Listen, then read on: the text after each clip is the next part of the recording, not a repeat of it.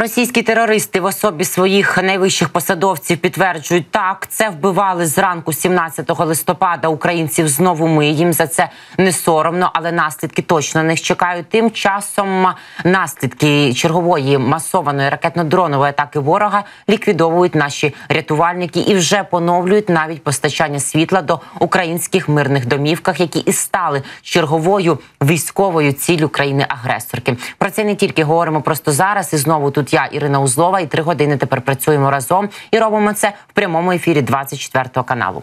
Чергова масована атака Російської Федерації була спрямована на енергосистему. Це підтверджує президент України Володимир Зеленський. Про це говорять в центрі протидії дезінформації при РНБО. Відповідно, через це відтак на превеликий жаль, але що ж робити, застосовувалися екстрені відключення електроенергії по всій країні. Але наші найкращі рятувальники та енергетики хоробрі вже працюють над ліквідацією наслідків, де це можливо, і їм це вдається. Неділю 17 листопада на тлі повітряної атаки військ Російської Федерації у низці областей України України застосовуються екстрені відключення електроенергії. Зокрема, згідно з повідомленнями ДТЕК за вказівкою Укренерго, екстрені відключення запроваджувалися в Києві, а також на Київщині, Донеччині та Дніпропетровщині. В разі змін будемо оперативно вас інформувати. Додали в ДТЕК. Також аварійні відключення застосовувалися у Черкаській області. Повідомив її очільник Ігор Табурець. В свою чергу міністр енергетики України Герман Галущенко повідомив, що ворог здійснює чергову масовану атаку на енергосистему. Саме на неї саме це і було цілю ворога. І мирні домівки. Окупанти атакували об'єкти генерації та передачі електроенергії по всій Україні. Констатував Герман Галущенко. Оператор системи передачі терміново ввів режим екстрених відключень електроенергії, де можливо рятувальники енергетики працюють над ліквідацією наслідків. Йдеться у повідомленні міністра. Пізніше у ДТЕК попередили про екстрені екстрені відключення на Одещині. Про що нам говорив і Сергій Брачук, речник Української добровольчої армії Південь. Крім того, повідомлялося про аварійні відключення в Харківській, Полтавській та Чернігівській областях. Об 11.04, як бачимо, у ДТЕК повідомили про скасування екстрених відключень електроенергії вже в Києві. Київській, Дніпропетровській та Донецькій областях енергетики поступово повертають світло в усі домівки, за що і дякуємо їм за таку оперативність.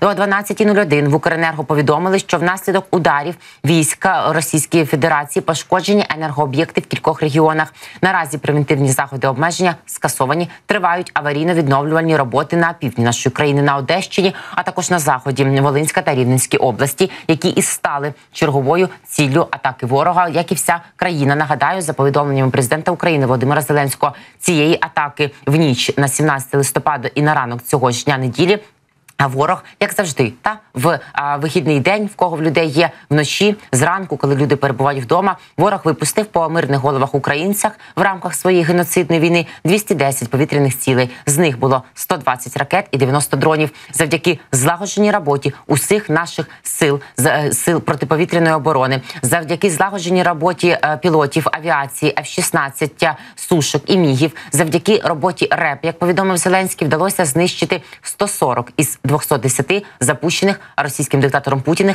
Путіним ракет і дронів по наших головах. Дякуємо нашим силам ППО за їхню активну і ефективну роботу і за захист нашого неба. Тим часом заступник голови Ради безпеки Російської Федерації Дмитро Медведєв, така в нього офіційна посада, неофіційна. Він постійно п'є і свого часу е, замінював просто Путіна, коли той переписував під себе конституцію, щоб далі не обмежено буцім так він думає своєю владою маніпулювати і відтак звершувати повномасштабні війни і знищувати і свій народ. Так бо він же знищує і росіян, кидаючи їх просто в топку російсько-української війни. Так, от ось цей Медведєв на диво в неділю, напевно, сьогодні нап'ється. Вилівся і підтвердив завдання масованого удару з боку російської армії по інфраструктурних об'єктах України, заявивши, що результати американських інвестицій на ці території, тобто на нашій землі, в нашій державі, чекає та сама доля. Ще й е, пригрозив Сполученим Штатам Америки. Бачите, напевно, він не дуже радіє, що там Трамп, бо продовжує далі погрожувати. Що ж пише цей е, ненормальний на всю голову, який я взагалі ми не розуміємо для чого і кому адресовані ці пости, але Медведєв не зупиняється. Ще кілька слів про те, чому США з радістю інвестують у конфлікт між Росією та Україною, як він називає війну. І справа не тільки в військово-промисловому комплексі. Якщо не врахувати мільярдів для військово-промислового комплексу, то ось як все виглядає за останній рік. Глядіть, в Медведєві включився математик.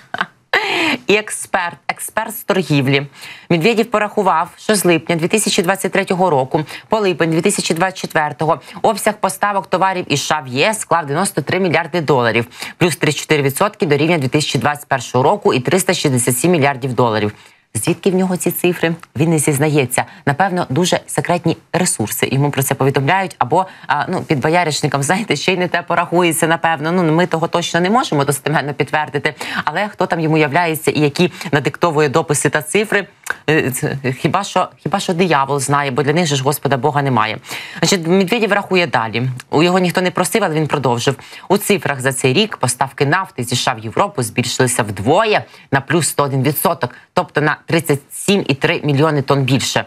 Це він рахує чиїсь нафтові прибутки. Та й нагадаю саме через те, що на превеликий жаль продовжує російську нафту купувати Китай, продовжує купувати Індія, продовжує вона качатися і поставлятися через Угорщину. Росія і має надприбутки до своєї скарбниці, які в свою чергу додають їй потужності та можливості продовжувати свою агресивну війну проти нас. І якби обіцянки багатьох європейських посадовців і того ж Дональда Трампа, який приходить до влади і говорив про це в своїх передвиборчих гаслах, знищ, зни, знизити, знищити та нафтовий комплекс, знизивши ціну за 40 до, до 40 доларів за барель, наприклад, російської нафти, такі спрацювали, то в Путіна не було би можливостей так довго вести цю криваву війну. І ймовірно, якщо він не зрозуміє, а він точно не зрозуміє ніяк такі мирні пропозиції та ініціативи, бо мир йому не треба, і на нього почнуть діяти на практиці ось такі ультиматуми. То тоді військова машинка Путіна якраз і зупиниться, а не військово-промислового комплексу США і України, як на те сподівається, як тому погрожує Дмитро Алкоголік Медведєв.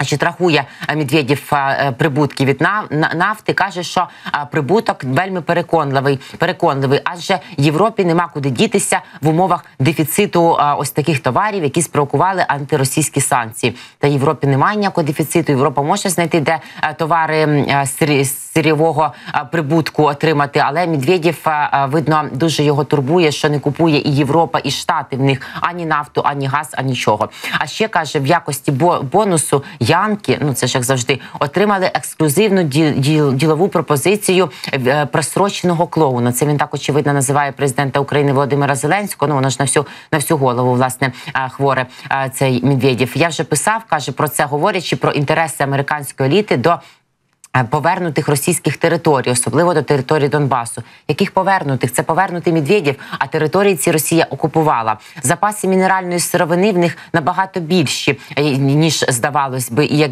ніж ті, що залишились би Україні. каже він саме тому сьогодні наркоман, це так називає українського гаранта, намагається зберегти інтерес американців до війни, торгуючись доступом до природних ресурсів. Це він очевидно має на увазі той один із пунктів плану перемоги президента України Володимира Зеленського, де йдеться про те те, що наші ресурси, але не просто так, але не просто комусь віддати, а можуть бути цікаві для заходу в рамках інвестиційних проєктів, звісно. Ну а російські нікому вже давно не цікаві, бо кривава нафта, кривава сировина Путіна нікому не потрібна. І тому Медведєва, бачите, як плющить через це в прямому і переносному сенсі. Але Медведєв думає, що загалом нічого особистого, тільки гроші це про наші взаємини із заходом. До речі, тут ще написав він два ПС 1 і ПП і пост постскриптум. Прям не може в навіть зупинитися на досягнутому написаному. До речі, каже, в перший прихід Трампа до влади активно Трамп ратував за заміну російського газу в Європі на американський LNG. Завершення російсько-українського конфлікту. Це так він у Медведєв називає. Нагадаю, може підірвати позиції американського зрідженого газу в старому світі. Одна з наших умов скасування санкцій, що виявиться важливішим перед виборчі обіцянки чи гроші питання риторичне.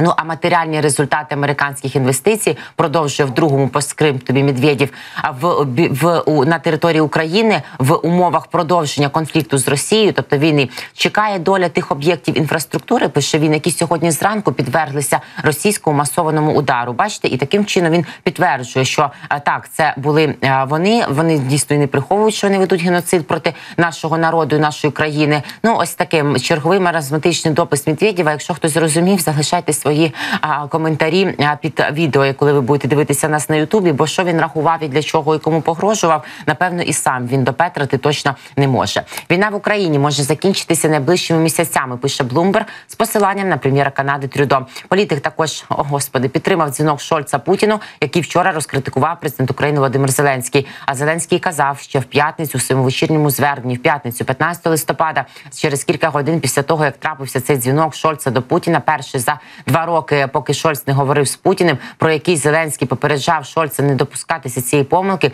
що саме цей дзвінок і розкриє скриньку Пандори. І бачимо, що на превеликий жаль скринька розкривається. Прем'єр-міністр Канади Джастін Трюдо вважає, що війна в Україні може закінчитися в найближчі місяці. Передає Блумберг. Відповідну заяву він зробив у Перу. Там він був присутній на саміті азіатсько-тихоокеанського економічного співробітництва. Трюдо запитали про цей нещодавний кол канцлера Німеччини Олафа Шольца, правителю диктатору незаконному. Росії Путіну, і він його підтримав. Трюдо говорить: ми всі розуміємо, наскільки важливо покласти край насильству в Україні, покласти край конфліктам у всьому світі. Це вимагає певного рівня взаємодії з колегами, з якими ми в багатьох випадках не згодні. Водночас він додав, що Канада залишається прихильною до перемоги України і хоче побачити закінчення війни якнайшвидше, припустивши, що це може статися найближчими місяцями. Путін розуміє тільки мову сили, які там переговори, а сила це зброя.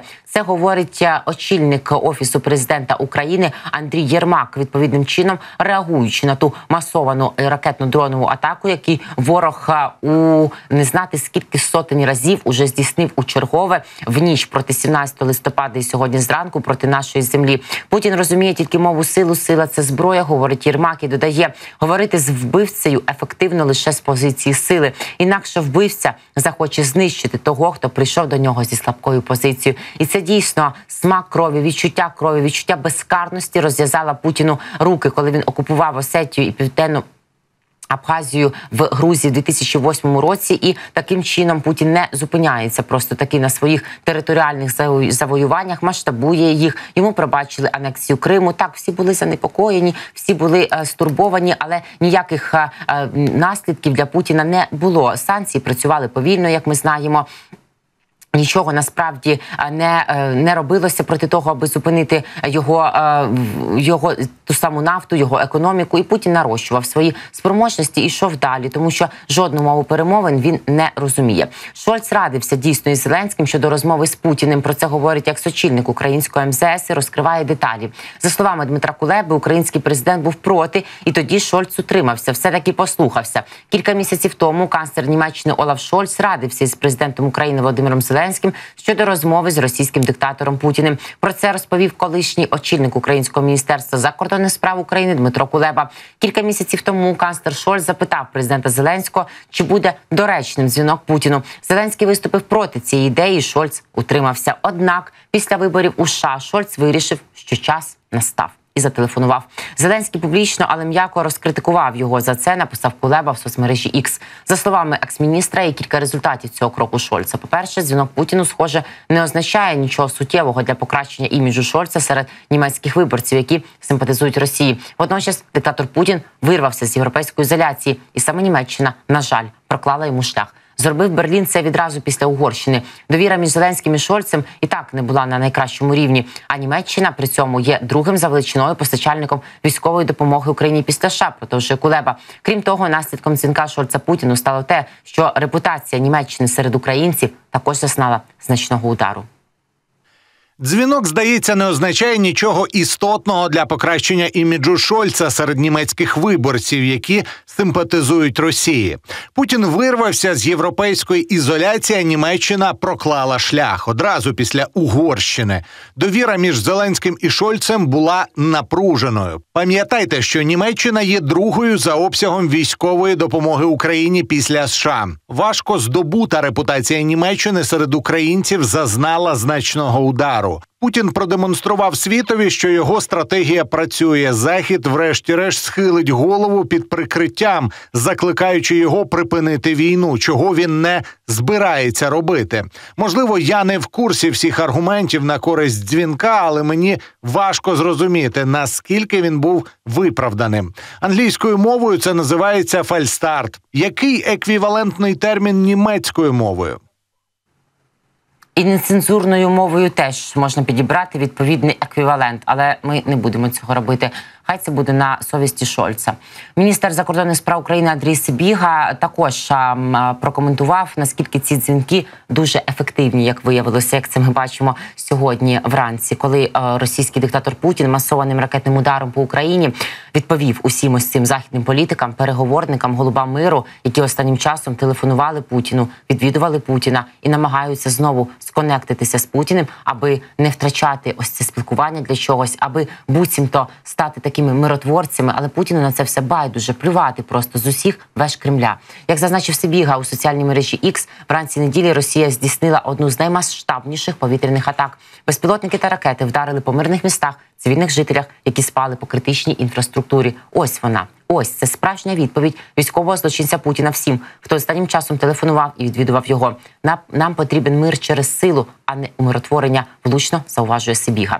А тим часом ми бачимо зараз наслідки умиротворення Путіна, про які нам повідомляють повітряні сили збройних сил України. Ось ці наслідки, наслідки того, який мир потрібен Путіну. Ніякий, кривавий, просто повністю.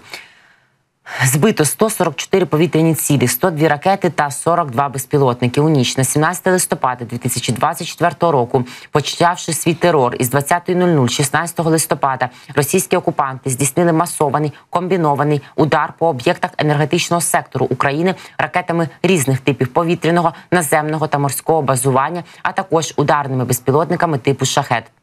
Загалом, за попередніми даними, радіотехнічними військами повітряних сил ЗСУ виявлено та здійснено супровід 210 повітряних цілей противника, 120 ракет та 90 безпілотників. Аналогічно до оприлюдненої президентом України Володимиром Зеленським цифри цифри оприлюднює таку ж саму цифру тих повітряних цілей, які ворог запускав по нас, і повітряні сили збройних сил України у своєму звіті.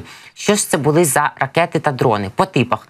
Е, Одна гіперзвукова корабельна ракета 3М22 «Циркон» була запущена по нас. Вісім аеробалістичних ракет Х-47М2 «Кинжал». Немало. 101 крилата ракета Х-101, 101 калібр, одна балістична ракета Іскандер М, чотири крилаті протирадіолокаційні ракети Х-22, Х-31П, п'ять керованих авіаційних ракет Х-59, Х-69, 90 ударних безпілотників дронів невстановленого типу. До повітряного нападу, як повідомляють повітряні сили збройних сил України, противник залучив сім стратегічних бомбардувальників Ту-160 та 16 Ту-95 МС, два дальніх бомбардувальники Ту-22М3, п'ять винищувачів бомбардувальників Су-34, 4 винищувачі Су-27, 10 винищувачів Міг-31К, 4 кораблі носії крилатих ракет. Просто все, що мав.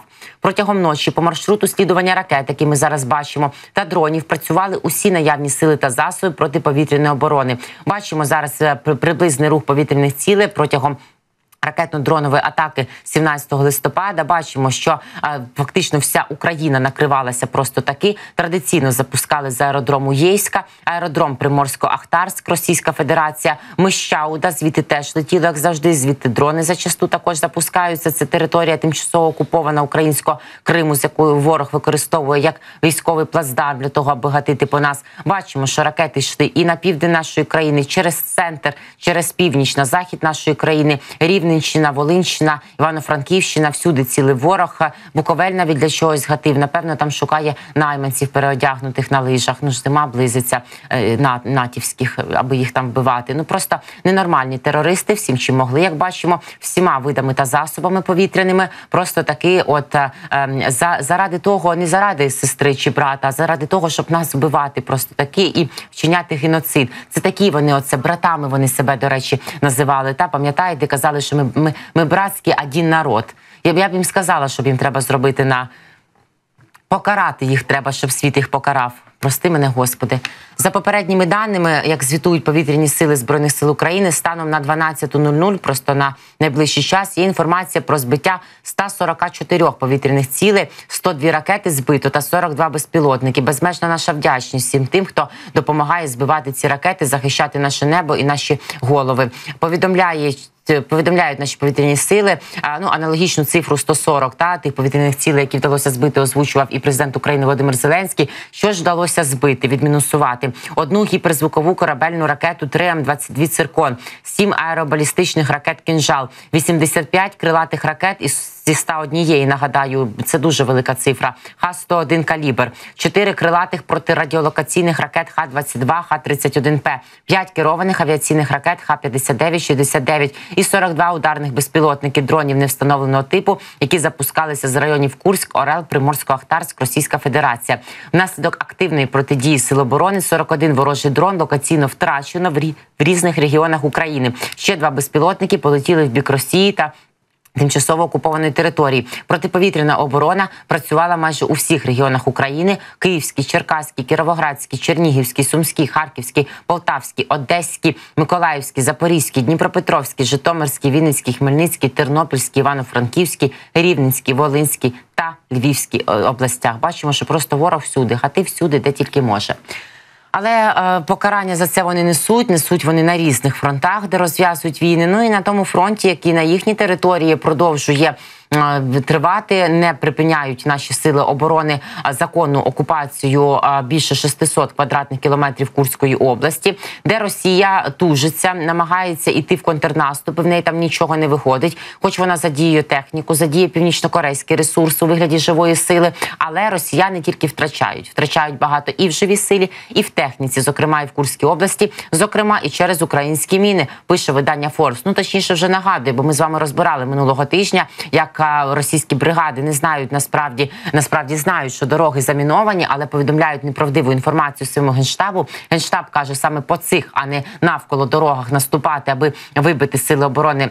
України до 20 січня 2025 року, як наказав Путін з території Курської області, але вони такі от, дурні і незрозумілі, і з ідуть самі по українських мінах, знаючи, що вони там є, тому і підриваються. А українці встановлюють міни на найважливіших дорогах, створюючи пастки для окупантів. Під час одного з невдалих наступів 810-ї бригади морської піхоти РФ у Курській області росіяни втратили 17 військових транспортних засобів через підрив на мінах. Зазначається, що підхід українців українців до встановлення мін відрізняється від ворожої стратегії на території України. Повідомляє Форбс. Командувач сухопутних військ України генерал Олександр Павлюк поділився, що за 9 днів від початку наступу на Курщині на мінах підірвалася третина російських військових транспортних засобів, яку окупанти відправили загалом на цей напрямок, зазначають журналісти.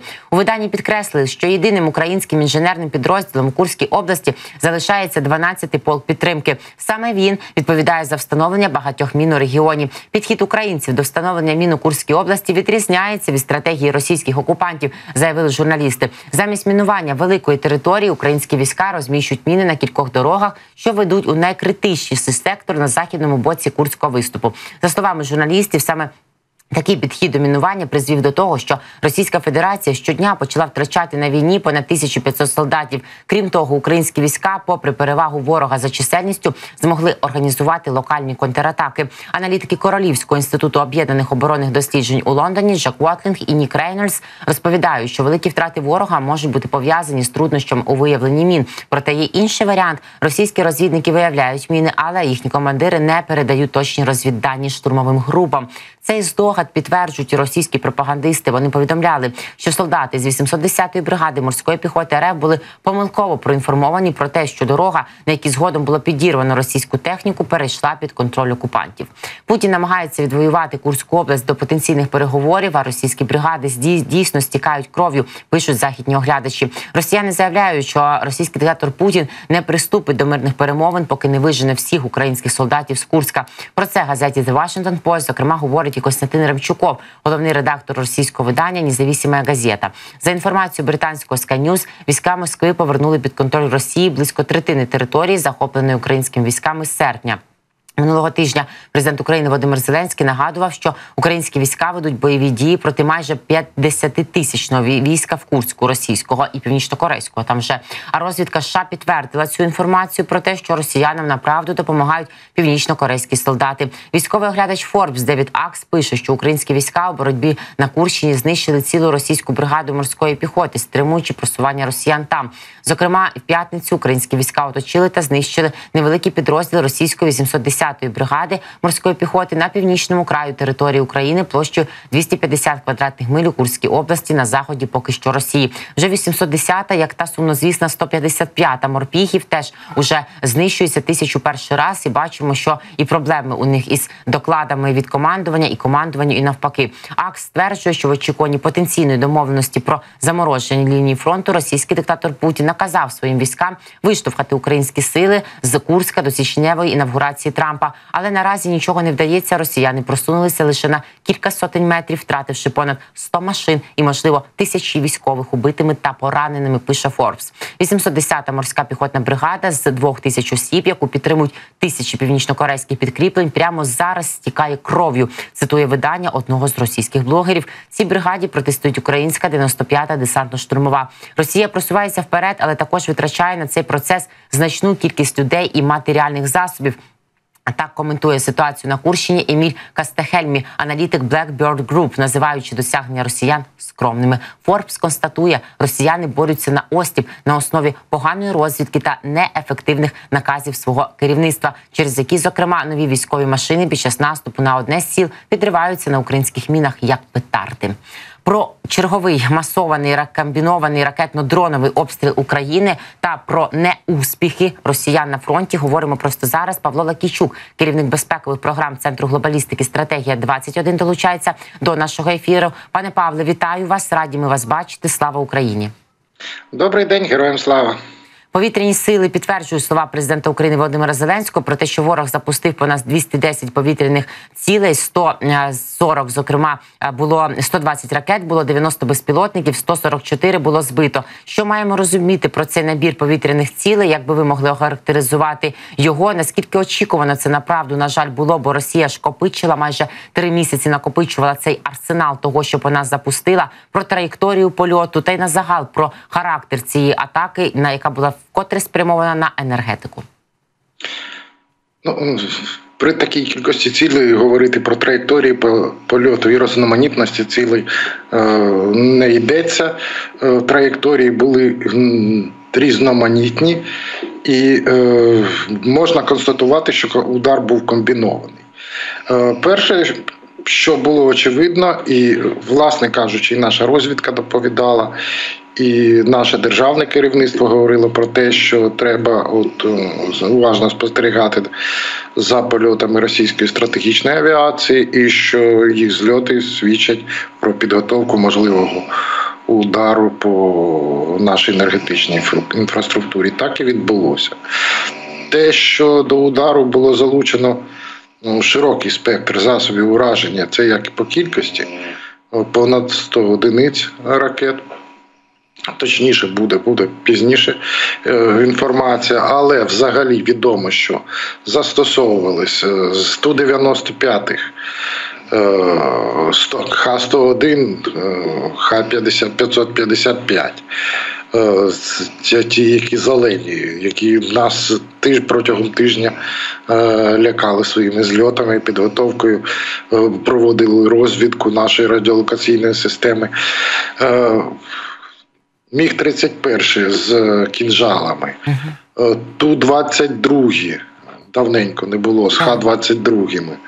І калібри з калібри запускали цього разу прямо з акваторії пунктів базування російського флоту, в тому числі з Семескої бухти, тільки ж нещодавно, тиждень тому, речник військово-морських сил Збройних сил України Дмитро Плетенчук сказав, що росіяни б'ють по нашим портам. Ми по російським портам легальним російським портам, новоросійську, Азову, е, не в окупованому Криму, е, не б'ємо, тому що там є цивільна інфраструктура.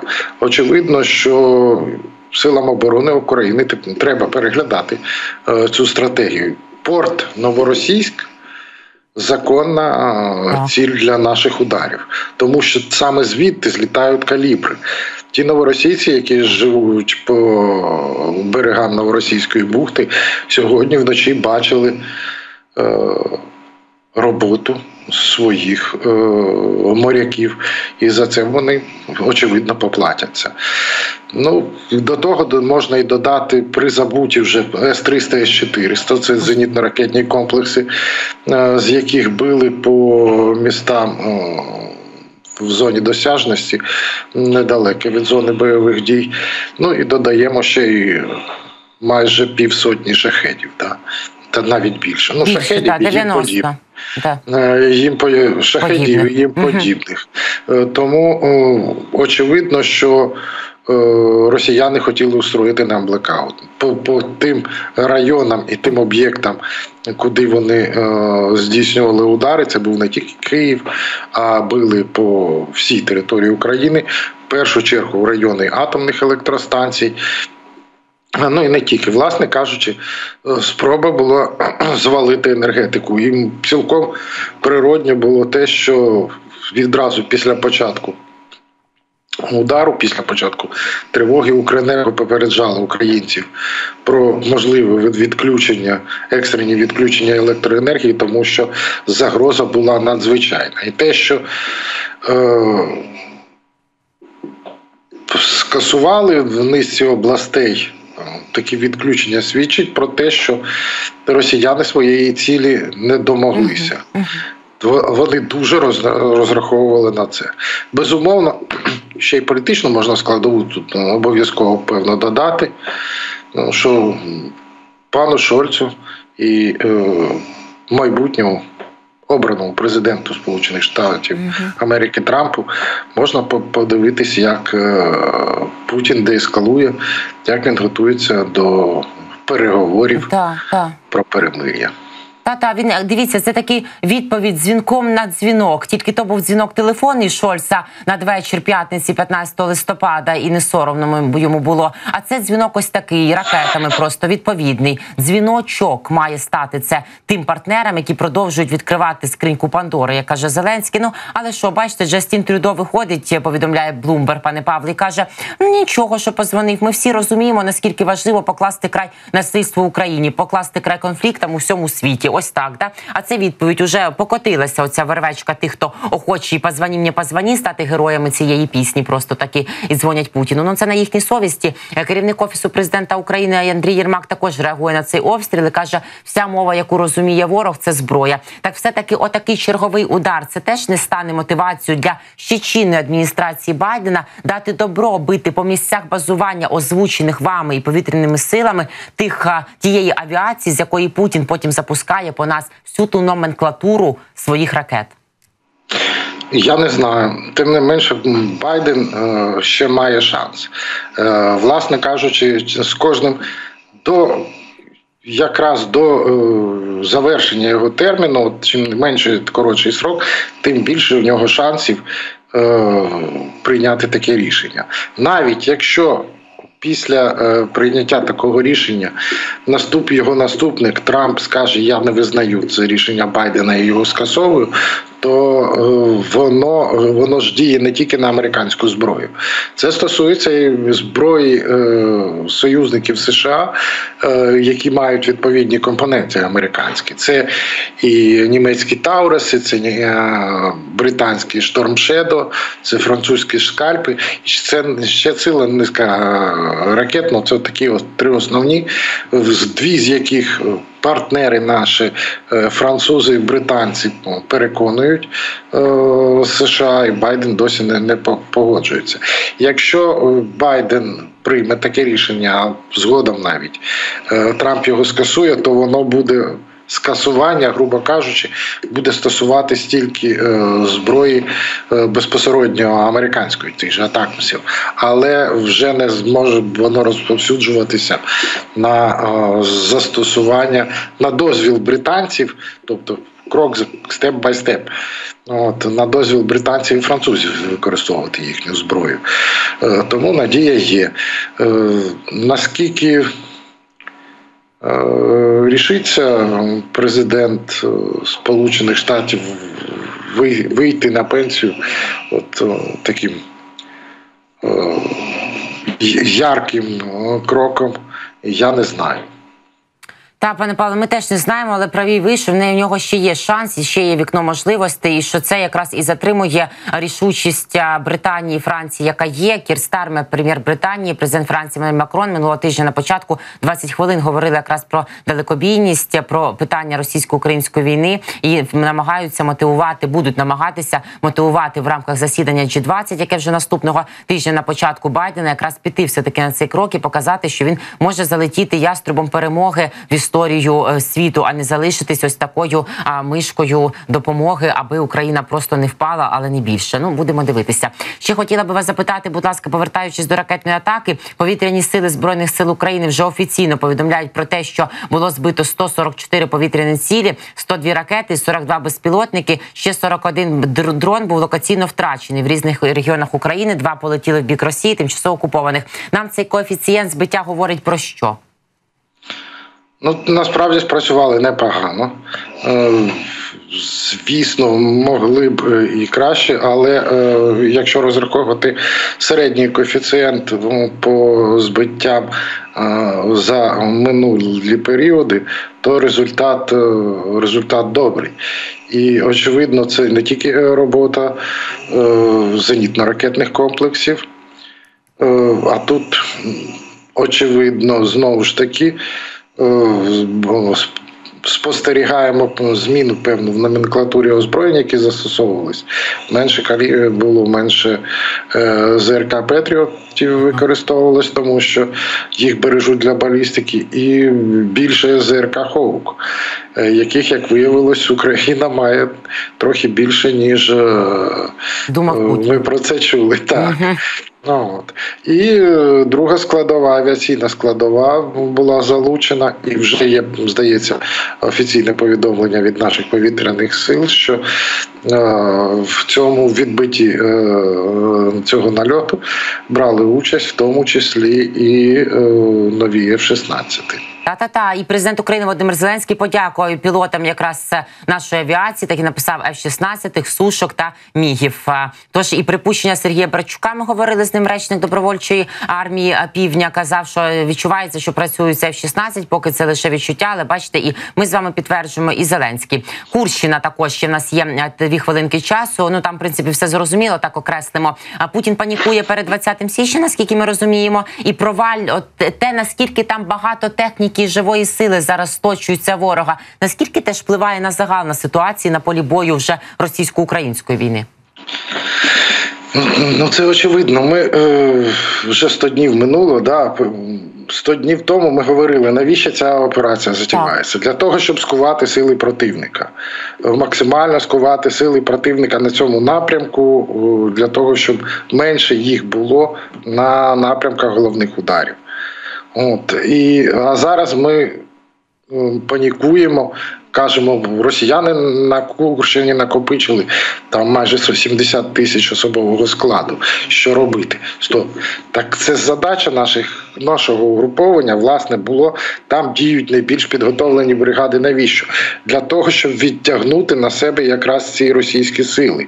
І чим більше русні знищуємо на Курщині, тим менше її доводиться значно гірших е, в гіршому положенні е, знищувати на Покровському напрямку чи на Курахівському напрямку.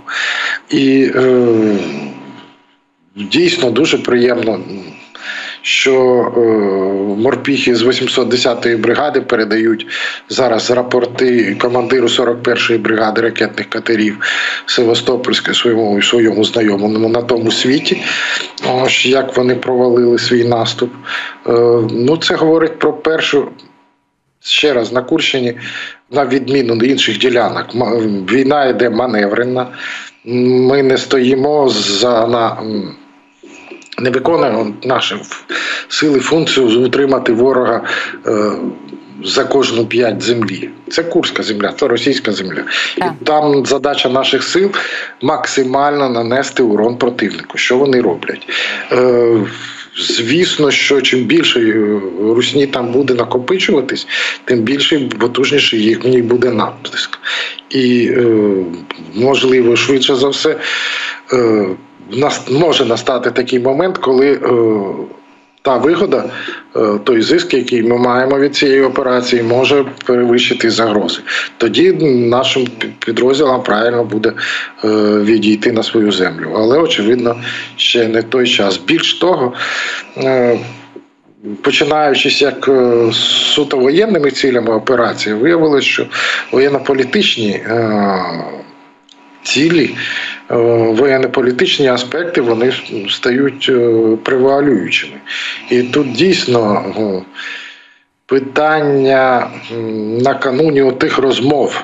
Попер, поп- не, не перемир'я, не переговорів, а розмов про переговори, про перемир'я. Операція Збройних сил України на, е, на території, на канонічній території Російської Федерації, яку вважає такою весь світ, от не тільки одна Москва, е, на відміну від російських Запоріжжя, Херсонщини, Донеччини, Луганщини тощо, от вона може бути таким. Е, Стримувальним фактором для того, щоб апетити е, російського лідера, фюрера, е, трошки приглушити. Але бачимо, що в них навряд чи щось сильно вийде. Пане Павле, дякую вам безмежно сьогодні і завжди за вашу позицію, за те, що час знаходите за роз'яснення. Бережіть себе на все добре. Павло Лакійчук був разом із нами, шановні, керівник безпекових програм Центру глобалістики Стратегія 21 Я Ірина Узлова. Час уже йти нам на невеличку паузу. Після неї я повернуся, і ми з вами ключові новини цього чергового тривожного дня, 998-го дня російсько-української війни, яку розв'язав проти нас російський фюрер Путін. Як влучно зауважив пан Павло, проговоримо з вами детально. Приходьте ви, і я повернусь.